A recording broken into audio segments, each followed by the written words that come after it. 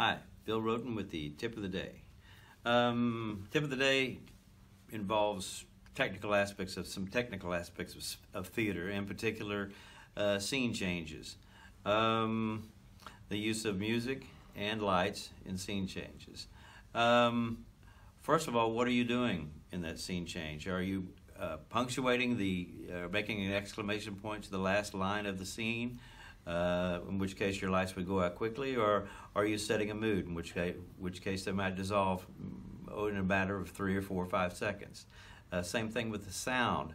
I always put music in, bet- in between my scene changes. There's nothing worse than having your audience sit in the dark for a minute or so, um, in the dark with nothing going on. Uh, they hate it, and I hate it. I usually try to keep my scene changes, if at all possible, to about the maximum 20 seconds. Um, again, it's covered by the music, and uh, whether that's theme music or whether that's some other kind of music. Um, keep it simple. Uh, the, the, the technical aspects of theater are there to enhance whatever it is you're doing, but they can also kill whatever it is you're doing if you're not doing them properly or awkwardly.